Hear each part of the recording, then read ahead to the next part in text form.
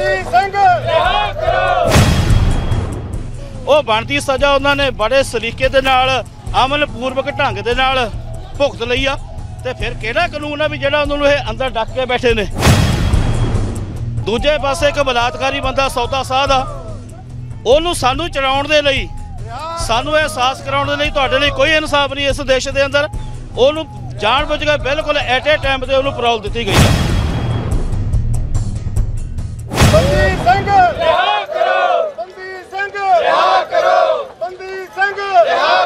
ਬੰਦੀ ਸਿੰਘਾਂ। ਦੀ ਰਿਹਾਈ ਦਾ ਮੁੱਦਾ ਪਿਛਲੇ ਦੇਖਿਆ ਜਾਵੇ ਤਾਂ ਗੱਲਬਾਤ ਵੀ ਕਰਨ ਦੀ ਕੋਸ਼ਿਸ਼ ਕਰਦੇ ਆ ਸਰ ਕੀ ਨਾਮ ਹੈ ਜੀ ਤੁਹਾਡਾ? ਭਾਈ ਜਤਿੰਦਰ ਸਿੰਘ ਈਸੜੂ ਅੱਜ ਜੰਜੀਰੀਆਂ ਪਾ ਕੇ ਮਾਰਚ ਕਰ ਰਹੇ ਹੋ। ਸਿੱਧਾ ਸਿੱਧਾ ਸਰਕਾਰ ਨੂੰ ਤੁਹਾਡਾ ਸੰਦੇਸ਼ ਹੈ। ਇੱਕ ਵਾਰ ਕੈਮਰੇ ਤੇ ਵੀ ਦੱਸੋ। ਹਾਂ ਬਿਲਕੁਲ ਅਸੀਂ ਮੈਸੇਜ ਦੇਣਾ ਚਾਹੁੰਦੇ ਆ ਵੀ ਸਾਡੇ ਨਾਲ ਬਹੁਤ ਲੰਬੇ ਸਮੇਂ ਤੋਂ ਤੁਸੀਂ ਬੇਇਨਸਾਫੀ ਕਰਦੇ ਆ ਰਹੇ ਹੋ।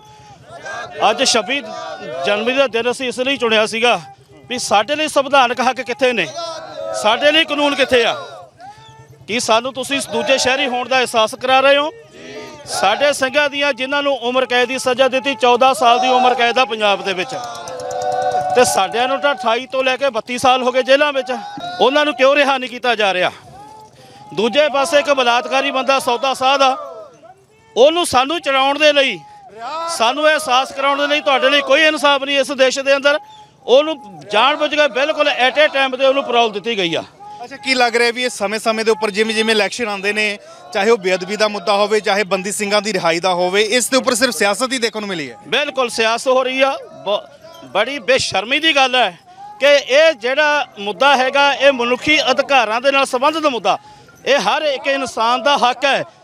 ਕਿਸੇ ਨੇ ਕੋਈ ਕਿਸੇ ਤਰ੍ਹਾਂ ਦਾ ਕ੍ਰਾਈਮ ਕੀਤਾ ਤੇ ਸਾਡੀ ਨਿਆਂ ਪ੍ਰਣਾਲੀ ਨੇ ਸਜ਼ਾ ਦੇ ਦਿੱਤੀ। ਉਹ ਬਣਦੀ ਸਜ਼ਾ ਉਹਨਾਂ ਨੇ ਬੜੇ ਸਲੀਕੇ ਦੇ ਨਾਲ ਅਮਲ ਪੂਰਵਕ ਢੰਗ ਦੇ ਨਾਲ ਭੁਗਤ ਲਈ ਆ। ਤੇ ਫਿਰ ਕਿਹੜਾ ਕਾਨੂੰਨ ਆ ਵੀ ਜਿਹੜਾ ਉਹਨਾਂ ਨੂੰ ਇਹ ਅੰਦਰ ਡੱਕ ਕੇ ਬੈਠੇ ਨੇ? ਅੱਛਾ ਕੀ ਲੱਗ ਕੀ ਰਿਹਾ ਵੀ ਕਿਉਂ ਨਹੀਂ ਰਿਹਾ ਹੋ ਰਿਹਾ? ਕਿਉਂਕਿ ਮੁੱਦਾ ਜਿਹੜਾ ਪੰਜਾਬ ਦਾ ਕਾਫੀ ਸੰਵੇਦਨਸ਼ੀਲ ਹੈ ਇਹ ਵਾਲਾ। ਇਹ ਅਸਲ ਵਿੱਚ ਜੀ ਗੱਲ ਹੈ ਵੀ ਸਾਨੂੰ ਇਹ ਆਪਣਾ ਗੁਲਾਮ ਰੱਖਣਾ ਚਾਹੁੰਦੇ ਨੇ। ਸਾਨੂੰ ਇਹ ਤਾਂ- ਇਹ ਇਸੇ ਆ ਕਹਿ ਰਹੀ ਹੈ ਵੀ ਜੇ ਸਿੱਧੇ ਅੱਖਰ ਦੇ ਕੇ ਵੀ ਸਾਨੂੰ ਆਪਣੀ ਜੁੱਤੀ ਥੱਲੇ ਰੱਖਣਾ ਚਾਹੁੰਦੇ ਨੇ, ਤੇ ਜੋ ਇਹਨਾਂ ਦੀ ਬਹੁਤ ਵੱਡਾ ਇੱਕ ਭਰਮ ਆ। ਕਿਉਂਕਿ ਸਿੱਖ ਇੱਕ ਆਜ਼ਾਦ, ਸੁਤੰਤਰ ਪੰਛੀ ਆ। ਇਹ ਕਦੇ ਕਿਸੇ ਪਿੰਜਰੇ ਦੇ ਵਿੱਚ ਨਹੀਂ ਰਹਿੰਦਾ, ਇਹਨਾਂ ਨੂੰ ਵੱਡਾ ਭੁਲੇਖਾ ਕਿਉਂਕਿ ਅਸੀਂ ਕਿਸੇ ਦਾ ਹੱਕ ਮਾਰਦੇ ਨਹੀਂ ਤੇ ਆਪਣਾ ਹੱਕ ਕਿਸੇ ਕੀਮਤ ਤੇ ਅਸੀਂ ਛੱਡਦੇ ਨਹੀਂ। ਨਾ ਕਿਸੇ ਨੂੰ ਅਸੀਂ ਡਰਾਉਣੇ ਆ ਤੇ ਨਾ ਕਿਸੇ ਤੋਂ ਅਸੀਂ ਡਰਦੇ ਆ ਕਿਉਂਕਿ ਸਾਡੇ ਲਈ ਗੁਰੂ ਦਾ ਸਿਧਾਂਤ ਆ ਵੀ ਭੈ ਕਾਹੂ ਕੋ ਦੇਤ ਨਹਿ ਨਹਿ ਭੈ ਮਾਨਤ ਆਨ। ਇਹ ਵੱਡੀਆਂ ਸਰਕਾਰਾਂ ਭੁਲੇਖੇ ਵਿੱਚ ਨੇ ਤੇ ਮੈਂ ਕਹਿੰਦਾ ਵੀ ਨਿਆਂ ਪ੍ਰਣਾਲੀ ਕਿਉਂ ਗੁੰਗੀ ਬੋਲੀ ਹੋ ਗਈ? ਪੋਲੀਟੀਕਲੀ ਲੋਕਾਂ ਨੇ ਆਪਣੀ ਰਾਜ ਸੱਤਾ ਨੂੰ ਬਚਾਉਣ ਦੇ ਲਈ, ਵੋਟ ਬੈਂਕ ਰੱਖਣ ਦੇ ਲਈ ਇਸ ਤਰ੍ਹਾਂ ਦੇ ਜਿਹੜੇ ਕੋਝੇ ਹੱਥ ਕੱਢੇ ਵਰਤਣੇ ਹੁੰਦੇ ਨੇ। ਉਹਨਾਂ ਨੂੰ ਧਰਮ ਦੇ ਨਾਲ ਕੋਈ ਨਹੀਂ, ਉਹਨਾਂ ਨੂੰ ਮਨੁੱਖੀ ਅਧਿਕਾਰਾਂ ਦੇ ਨਾਲ ਕੋਈ ਵਾਸਤਾ ਨਹੀਂ ਹੁੰਦਾ। ਉਹਨਾਂ ਨੇ ਹਰ ਪੱਖ ਦੇਖਣਾ ਵੀ ਸਾਡੀ ਜਿਹੜੀ ਕੁਰਸੀ ਕਿਵੇਂ ਸਲਾਮਤ ਰਹਿੰਦੀ ਆ। ਪਰ ਜਿਹੜੇ ਇਨਸਾਫ ਕਰਨ ਵਾਲੇ ਲੋਕ ਬੈਠੇ ਨੇ ਅਦਾਲਤਾਂ ਖੋਲ ਕੇ, ਉਹਨਾਂ ਉਹਨਾਂ ਦੇ ਅੱਜ ਅੱਖਾਂ ਅੰਨੀਆਂ ਤੇ ਕੰਨ ਬੋਲੇ ਕਿਉਂ ਹੋ ਗਏ?